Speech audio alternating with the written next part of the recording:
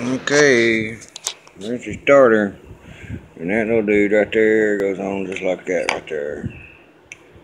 And then, put that in there like that.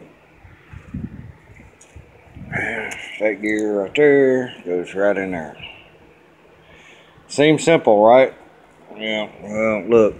the planetary gears in there. That's going to be fun to mate up, but I'll do it. I need to take the back off and then clean this bearing back here and clean the armature real good and put a little oil on it. And definitely need to uh, pull gear out and clean this uh, slide right here and put a little grease and oil on it. And other than that, we'll have a reworked starter. Mm -hmm. We'll clean the armature, we'll clean the bearing real good, and then we'll put it all back together. And it goes.